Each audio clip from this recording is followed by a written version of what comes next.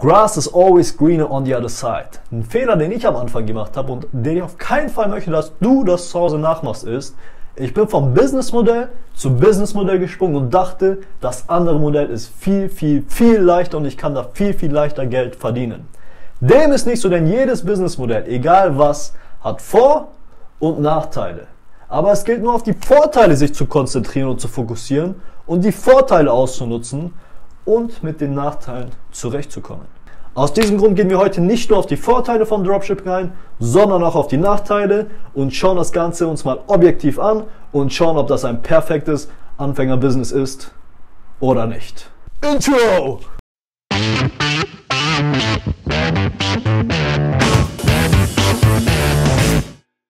Kein Geschäftsmodell ist perfekt. Jedes Geschäftsmodell, egal welches, hat sowohl Komplikationen als auch immense Vorteile. Die Frage, die du hierbei stellen musst, ist, auf was liegt dein Fokus? Auf was möchtest du dich konzentrieren? Hier unten habe ich ein Zitat. Sei dir den Nachteilen bewusst, doch konzentriere dich 99% der Zeit auf die Vorteile und mache das Beste daraus. Man findet immer eine bessere Möglichkeit. Die Kirschen im Nachbarsgarten schmecken immer süßer. Es ist nicht immer schwarz und weiß. Auch als Arbeiter hast du viel mehr Vorteile, aber gleichzeitig auch Nachteile als gegenüber der Selbstständigkeit oder dem Unternehmertum. Beispielsweise hast du als Arbeiter sicheres Geld, keinen Umsatzdruck, musst keine Steuererklärung machen, brauchst keinen Finanzberater, keinen Anwalt und keine zusätzlichen Versicherungen.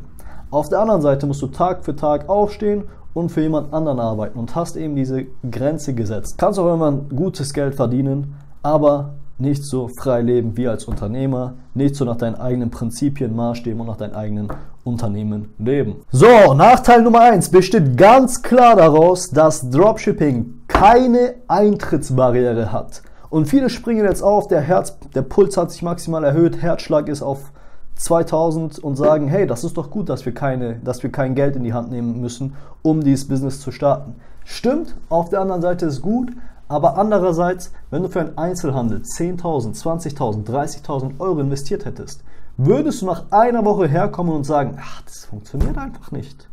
Dieses Businessmodell funktioniert nicht. Oder würdest du sagen, ich muss das jetzt zum Laufen bringen.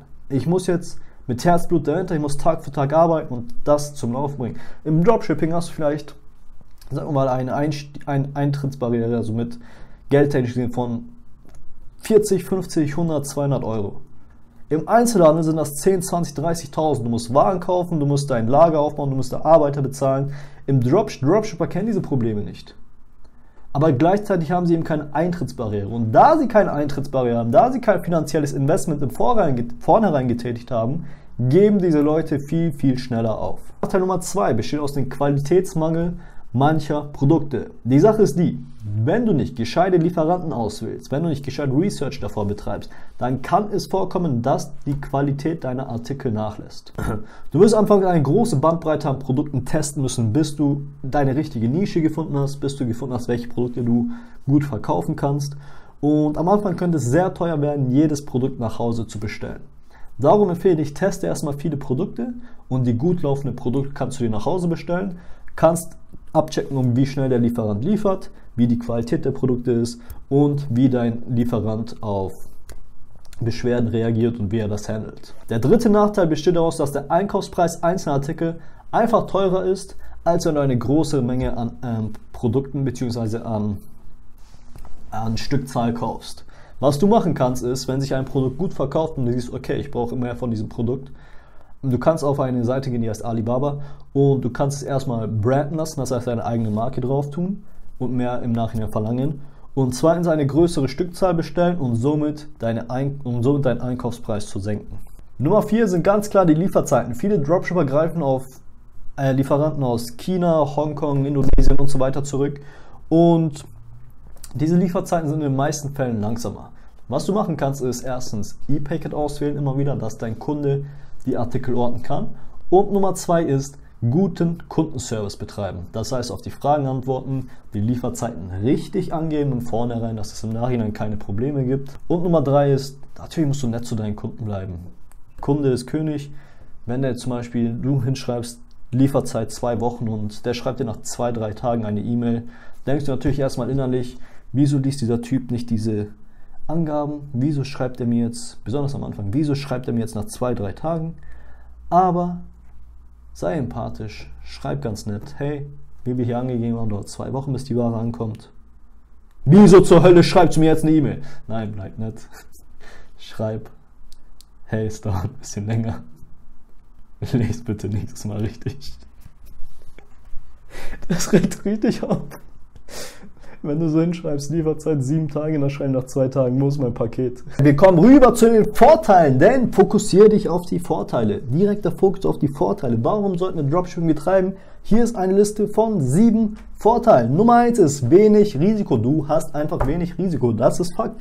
Du bist im Voraus nicht gezwungen, Artikel online zu bestellen, zu dir nach Hause zu bestellen, Inventar zu kaufen. Somit hast du kein Risiko, auf der Ware sitzen zu bleiben. Viele lokale Unternehmen machen nämlich den Fehler, dass sie Produkte im Vornherein bestellen. Viele meiner Freunde, Angehörigen, Familienangehörigen, ich sehe es immer wieder, sie machen den Fehler, dass sie Produkte im Vornherein bestellen, eine riesige Menge und im Nachhinein sehen, oh, Niemand möchte dieses Produkt. Ich habe auch gemacht. Ich habe am Anfang viele Produkte angeboten, viele Produkte gekauft in, in größeren Massen die einfach niemand wollte und ich bin darauf sitzen geblieben. Außerdem benötigst du für deine Produkte kein eigenes Lager, keine Arbeiter und allgemein ist das alles mit sehr wenig Risiko verbunden. Man sieht also, dass das ein sehr kostengünstiger Einstieg in die Selbstständigkeit ist.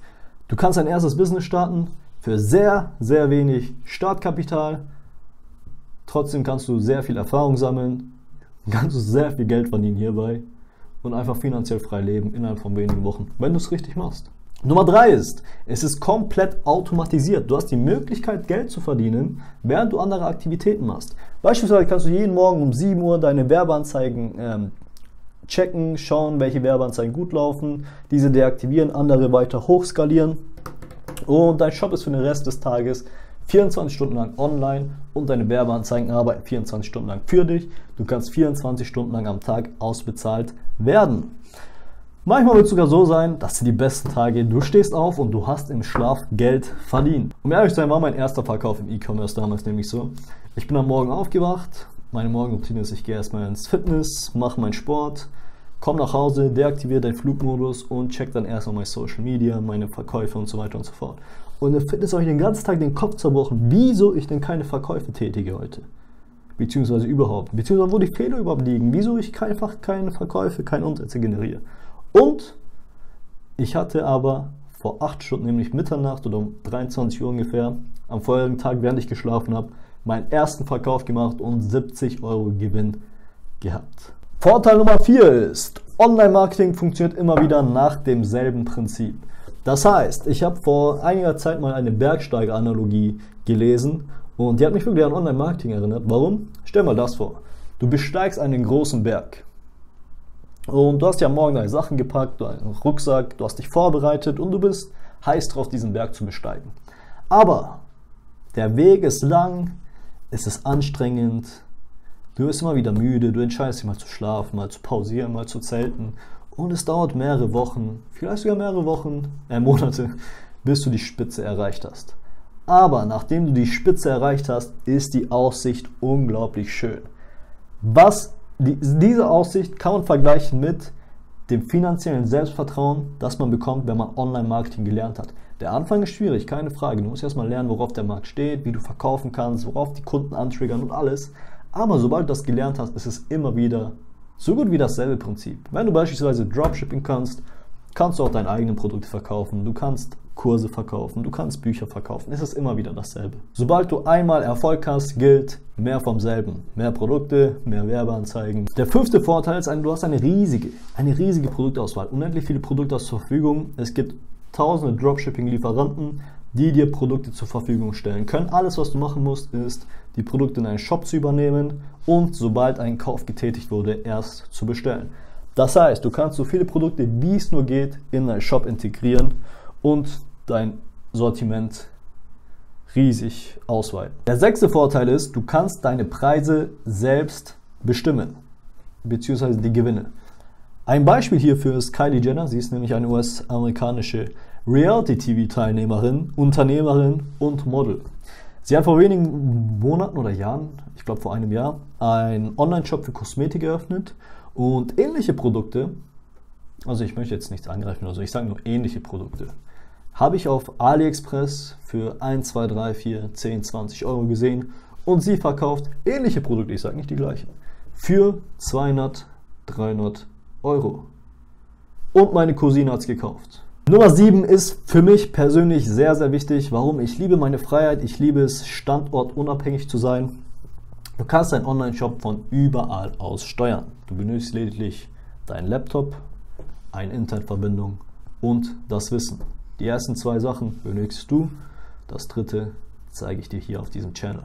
Jeden Abend um 18 Uhr neues Video. Abonnieren, falls du noch nicht abonniert hast. Sobald du hohe Umsätze erzielst, kannst du außerdem deinen Kundensupport outsourcen und hast somit noch mehr Zeit für dich, für deine Hobbys, für neue Unternehmen, für alles andere, was du in deinem Leben machen möchtest. Mein Fazit. Es ist das perfekte Geschäftsmodell, um mit E-Commerce die ersten Erfolge zu erzielen, eine finanzielle Unabhängigkeit aufzubauen, vielleicht sogar den Main-Job zu kündigen und erstmal finanziell frei zu leben. Erstmal, wie viel braucht man fürs Leben? 1500, 2000 Euro Gewinn im Monat Hauptjob kündigen, Fulltime E-Commerce und immer mehr lernen. Aber wir wollen natürlich erstmal mit dem ersten Schritt anfangen. Jede Reise, jede unendlich lange Wanderung begann, beginnt mit dem ersten Schritt. Das heißt, verkauf erstmal die Artikel von anderen Leuten, mach Dropshipping, starte deinen ersten Shop und nachdem du das alles gelernt hast, nachdem du 1000, 2000, 3000, 4000, 5000 Euro im Monat verdienst, kannst du deine eigenen Produkte kreieren, verkaufen und noch mehr Spaß am Leben haben. Vielen Dank fürs Zuschauen. Ihr wisst Bescheid. Jeden Abend um 18 Uhr ein neues Video auf diesem Channel at Aposwadi und ich habe noch ein Geschenk für dich. 40 heiß begehrte Nischen für E-Commerce habe ich unten in der Beschreibung. Kannst dich einmal anmelden und bekommst sie sofort per E-Mail zugesendet. Außerdem noch Lektionen aus meinem täglichen Leben. Das, was mich gerade in meinem täglichen Leben berührt, stört, freut und so weiter. Letzte Ansage noch. Zwei Bücher habe ich zu diesem Thema. Falls du eine Allround-Informationsquelle über diese Thematik haben möchtest, passives Einkommen durch Dropshipping Nummer 1 oder Online-Geld verdienen durch T-Shirts, wird alles gut aufgeklärt. In diesem Sinne, Peace out. Besorg dir Bücher, falls du Interesse hast. Falls nicht, ist auch in Ordnung. Und wir sehen uns morgen um 18 Uhr.